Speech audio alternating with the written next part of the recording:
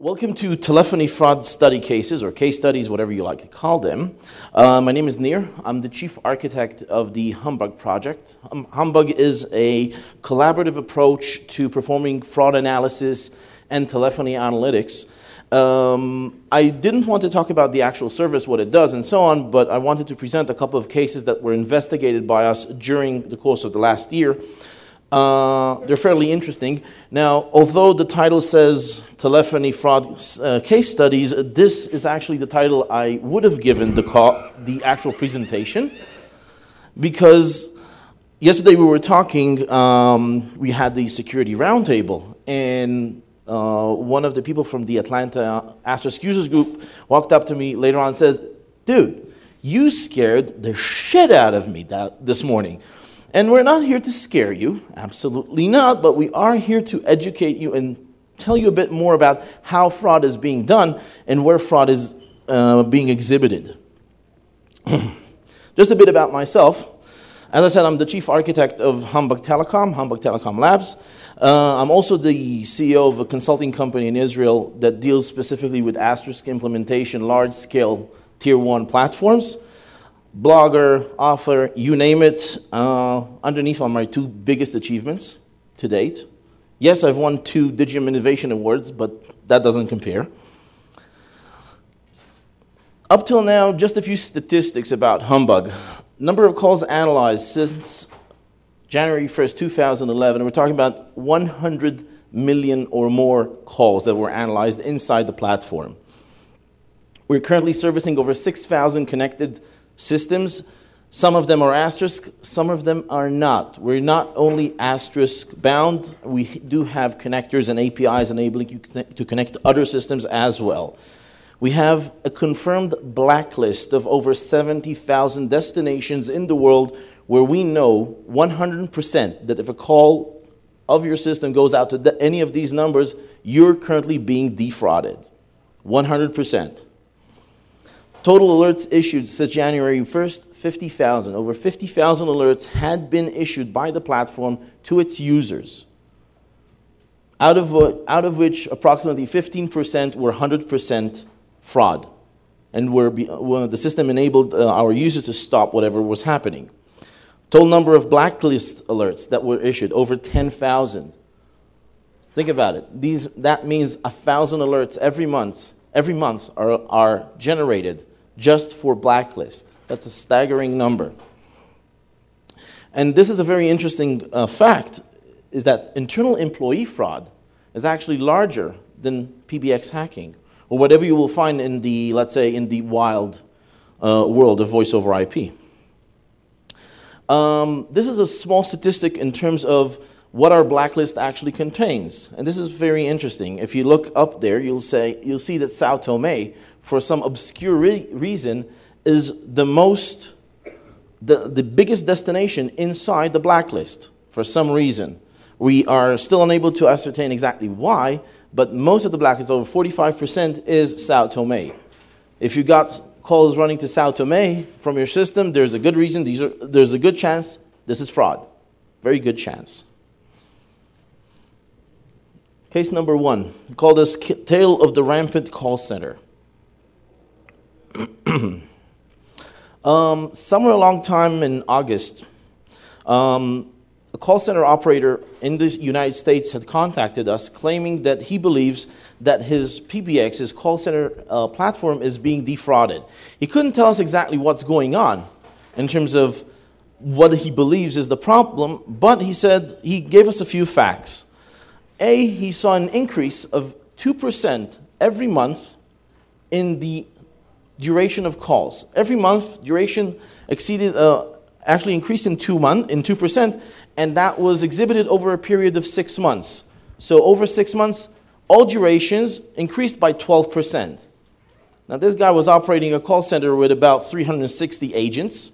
So we are talking about expenses of, $1, of over $5,000 every month that were taken. Over six months, we're talking $30,000 more.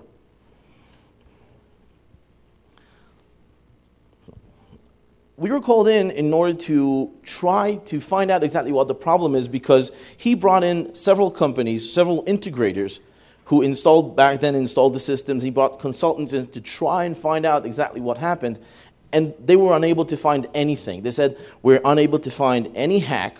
We can't find anything that has to do with somebody manipulating the system or using your resources externally. So that specific person had read about us on the internet and said, wow, this could be some people that can really help me. Now, in order to ascertain exactly what was going on, we needed to learn just a bit more about what this person does, what this call center does, and this is what the Humbug system does. One of the things that Humbug does is being able to profile you according to your usage. We're not only looking at your calls and saying, okay, you're calling X, Y, Z, we're also taking note about your business model. For example, what exactly do you do? Are you a call center? Are you a contact center? Do you generate mostly outbound? Do you generally uh, receive mostly calls? And so on. In this specific case, we had a call center that provides lead generation services. Lead genera- anybody know what lead generation services are? Nobody? Uh, who? Pull up your your arm, hands up in the air. Who knows what it is? Okay, I'll explain. The idea of a lead generation service is I'm a call center. I've got 360 employees. I, got a, a, um, I have a whole bunch of people that are making outbound calls. And I've got, I'm getting lists from, let's say, insurance companies, automotive companies, and so on. In our specific case, health industry, clinics. Um, these people call out to projective leads, projective customers. Once they get a customer, they then transfer the call over to the clinic's IVR system to be handled at the other end.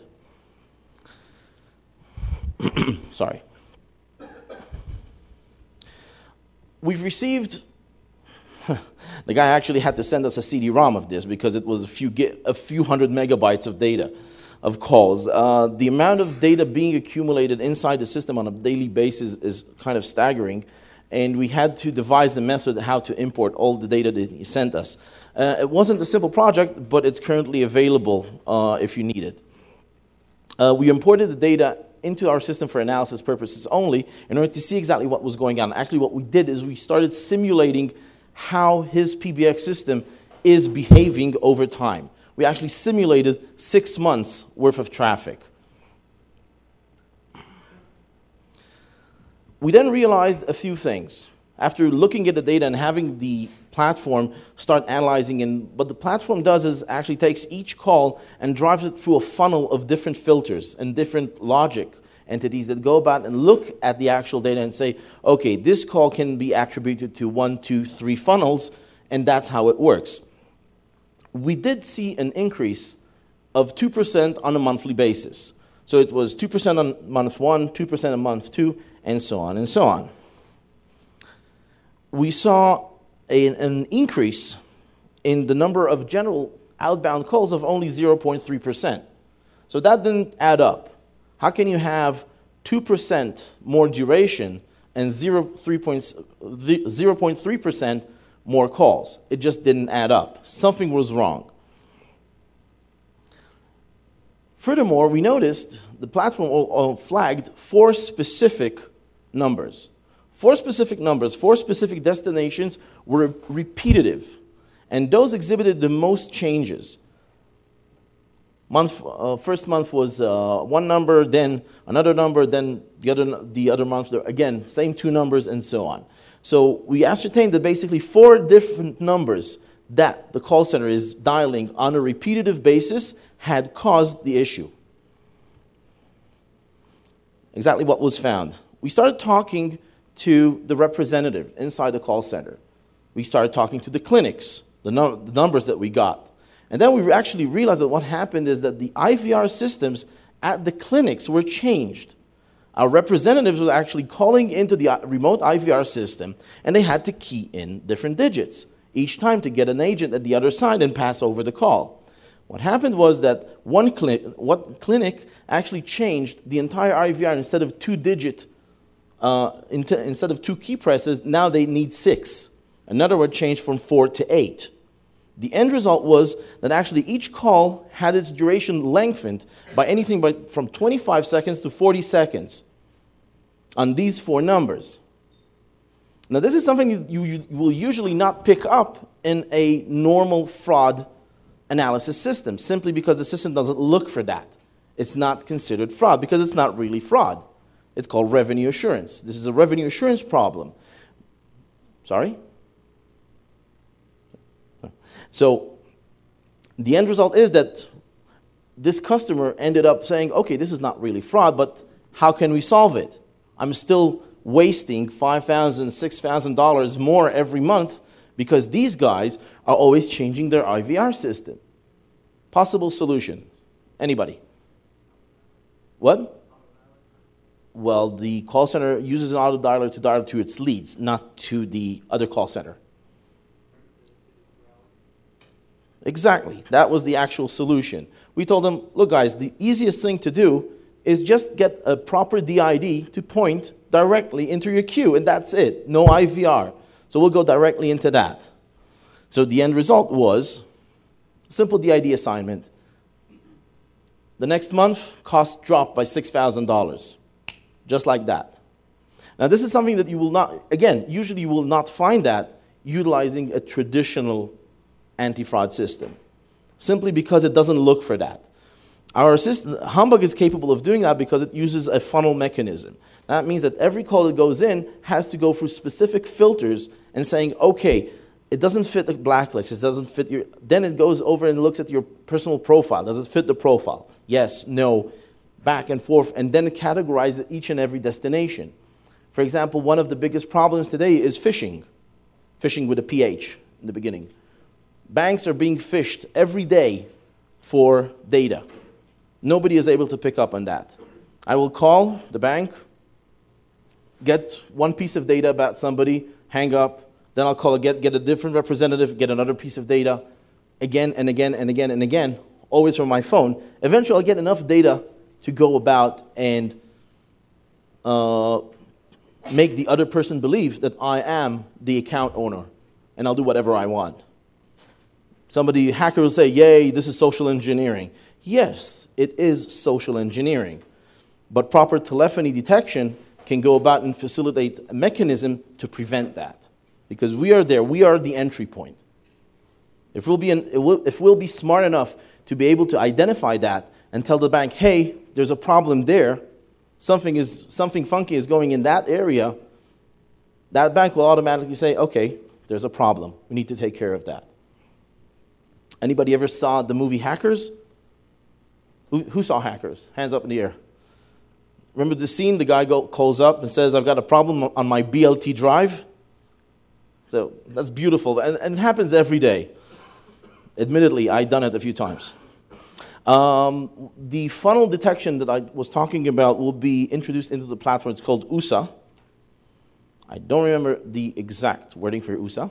Eric, do you remember? USA, user significance, something anomaly. In the end, did I write it? Oh, right. True. Forgot. um, so that will be added in somewhere around January 2012. Uh, although right now we do have over 48 different categories of, the, of alerts, which when combined can uh, create a funnel of over 6,000 different variations of alerts that you can detect with the system. Um, questions up till now? Anybody? Your system's doing this real time? Everything is real time. Uh, well, blacklists are real time. Uh, profile based alerts, depending on the type of profile alert, some of them are real time, some of them are statistical. So it takes anything between um, five up to 15 minutes for something to generate an alert. Uh, but even inside the 15 minute uh, period, which is consider, it's considered in the telecom industry, if you talk to a carrier and you're going to say, I can generate an alert in 15 minutes, they're going to say impossible because we require eight hours. A company like AT&T, Verizon require anything between four to eight hours to analyze something that may be regarded as fraud. And in most cases, don't even catch that. So, attack of the multi-tenants. Actually, I wanted to write multi-tentacles, but nobody would understand that. Um, there's a problem in multi-tenant systems. Multi-tenant systems, by definition, are very, very hard to monitor. Uh, who manages a multi-tenant system here? How many people? Hands up. I want to see. So we're talking about what? About a quarter of the room right now. You tell me, how hard is it to debug anything on such a platform? Be it based on Asterisk, Broadsoft, Sylantro, whatever. Simple? How simple? Well, I'm currently looking, there is something funky going on. One of the customers starting to dial weird destinations. Depends. We monitor both the, we, we, we do both the soft switching side as well as the content PBX side. So Okay. depends on where you look at it. Okay. What company is that? Uh, Telecom, we're uh, Belgian ITSP. Ah, okay. Okay, so basically what you did is you built some mechanisms into your system to enable you to see that. Okay, most of the systems don't have that. For example, anybody, know, uh, are anybody here familiar with Broadsoft? Trust me, you don't want to be familiar with Broadsoft. Trust me. That thing has a log file the size of Wazoo. You don't want to go over it. In any case, the nature of the system uh, creates a, a problem for a fraud analysis system. You have a single endpoint that generates information for many, many, many customers, each one with their own profile. Each one has their, their, their own distinct usage pattern. But from an anti fraud environment, let's say a platform like Cividia or Agilis or uh, Verint, the end result is that they look at it as a single entity. The problem is they're not fully aware of what's going on at the multi tenant level. In May 2011, a multi tenant provider had requested that we do a small change to the Humbug uh, platform to enable him to connect his multi tenant system into our service. Now, what he required is an ability to report each and every multi tenant customer as its own PBX environment. Saying, okay, instead of monitoring a single system, I'm going to show up a single system as a thousand different systems. Because each one is its own customer, and it makes perfect sense. Each one is its own profile. Um, utilizing our API, there's a, a public, publicly available API. By the way, anything that has to do with interconnecting into Humbug and reporting information back to us is fully open sourced. So you can utilize either the asterisk agent that we supply, you can download it. There, comes in RPM format, TarGZ if you want to look inside what's inside there, that's fine. There's also a web-based API that you can utilize, does exactly the same. And if you're using something which is not asterisk, there's also a third-party connector that you can use from a company called AGG Software. Um, using the API, he was actually able to go about and separate each of the customers into their own world. Now, once that was fully integrated in, we got some really interesting information from that specific customer. Since May 2011, we generated over 15,000 alerts to that specific customer. So that specific customer has only approximately uh, 1,000 customers on that platform. We generated 15,000 alerts. Over 1,000 alerts were identified as 100% fraud. The alert was issued, uh, some of it in real time, some of it slightly a bit later, about five minutes later, and the provider was able to stop it. It was stopped uh, at mid ground. Over 4,000 were identified as 90% fraud. Now, what is 90% fraud? It means that we see something which is a deviation from your normal traffic. It is, uh, we call it a mathematical statistical anomaly, but we're not fully sure that it's, unfortunately, fraud is not an exact science, it's not physics. There are false positives. Now, the sheer power of Humbug is the fact that we monitor thousands upon thousands of entities all over the world. So once we identify something on one part of the world, seeing an attack, once we see that specific attack pattern again somewhere else, we're able to pick up on that in less than five minutes. And we'll be able to generate an alert. And that is something we're unique. Most of the other were uh, identified as profile alerts, or what we call uh, profile deviations, and generated usually a warning alert. What does that mean? Usually, what, for example, one of the um, alerts that is available on the system is the number of concurrent calls you have, or how many call attempts you're making, you're doing per minute. So sometimes you'll get an alert saying, okay, if you've defined that alert, you may your system may send you an alert saying, okay, your system is currently doing, you've defined uh, the threshold as 24, and now you're doing 36. Check it out. Something doesn't add up. It's a profile deviation. Um, again, these are warnings. These are not 100% alerts, something to be looked at. September alone, these are the numbers for this specific customer only in September. We're talking about four, over 400 alerts in general, over 100 blacklist alerts, community blacklist. Now, the community blacklist is something that we actually go about and compile out of aggregating information coming in from the CFCA. CFCA is a, uh, the American Organization for Fraud um, Analysis. These are carriers talking between themselves. We're, we're members of that. Information gathered from FIINA, same as CFCA, only in Europe. We have information coming in from the FBI. We have information coming in from different carriers around the world that are uh, partnered with us. In addition to that, we have our own network of honeypots scattered all over the world, which are circulating on a monthly basis. That means that our fraudsters, once they find a honeypot, and they know it's a honeypot because eventually they know that it is, a month later it just pops up another place. So, this is information that we gather on a daily or actually tri daily basis. Um, just in September, as I said, we were able to go about an uh, alert on over, altogether, over 900 alerts, which, if we're let to go and pass, would have generated over $150,000 worth of lost revenues to this specific customer. Now, when you think about it, you say for a carrier such as AT&T, 150,000 isn't all that much money. But for, let's say, if you're a tier three, tier four ITSP somewhere operating out of, I don't know where, that's a lot of money. That can actually bring your company to bankruptcy. A few, a few more uh, nice facts about September.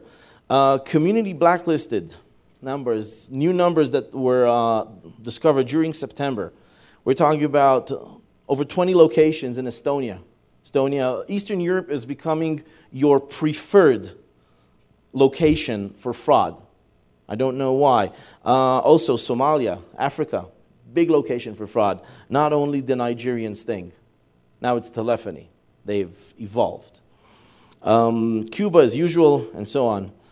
Um, premium rate fraud or premium rate mobile arbitrage. That is the, uh, the idea of actually hacking your PBX system and starting generating calls into a mobile MVNO somewhere around the world and getting a kickback for every call you make. This is one of the biggest problems. This specific market is currently evaluated roughly at $18 billion profit losses every year, and it's growing.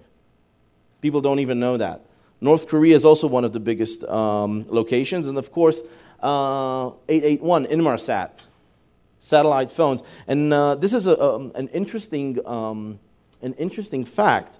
Uh, we actually saw cases in which some of the hacks that originated calls into Inmarsat were generated from the Inmarsat network, from their IP ranges, which is very interesting. Questions up till now? Yes. Uh, like just calculated like the number of alerts around 50 alerts per day. So what happens really on alert? Is it like the operator somewhere sitting and reviewing the alert is automatically blocking a certain customer? What happens on alert? Well, currently the system you you're, you're kind of walking into an open door. Uh, currently, the agent that we have on Asterisk will do only uh, reporting back and will report back to you that, that, there is an alert. An alert had been issued. That will go uh, currently on email, and later on, uh, starting 2012, that will also be on SMS, and there will be other facilities. Um, starting 2000, actually December 2011, we'll be issuing a new agent that will be doing what we call proactive disconnection. And this is actually where, Humbug is going. Um, currently, we have over 100 signups every, every week, and the number is growing. Um, we are teamed up with uh, three different vendors at this point uh, Ascosia. Uh, some of you may know uh, Positron also has the agent enabled on all their new boxes. And Elastix 2.0. Humbug is an integral part of Elastix 2.0. Uh, we'll be starting initial paid services in, in November 2011, which means next week, something like that. Yeah, I know. Um, for anybody who's here, you can pick one of these up. I'll show you these. These are your, actually, the, uh, the service will have also a free analytics service. So you can sign up for that and you get free analytics. Not fraud analysis, but analytics, which it works a lot faster from the Astros CDR tool that FreePBX has with it. And in any case, um, these vouchers here will give you two months free trial of all the features that are available on Humbug. So you can go on and use these promo codes and um, take as much as you want and use these. Um, sorry. Some of this free you're talking about? Uh, currently, it's free. It was, it was free for the last year and a half as we were developing the platform. Um, but now we've gotten into a point where the amount of data being accumulated just reaches a point where we have to start um, um, charging for it. Um, we hope to have, as I said, the proactive disconnection ready somewhere around December 2011. The idea is that the agent that is installed on your Astra system and reports back information to us will be able to disconnect a call that is either uh, defined as a blacklist, that means either a community blacklist, verified blacklist, or a blacklist that you define. For example, one of the things that is available for you is to define that you're not making calls to North Korea. If the agent will see a call going off to North Korea, it will disconnect it automatically, and the system will generate an alert saying, We've disconnected a call for you.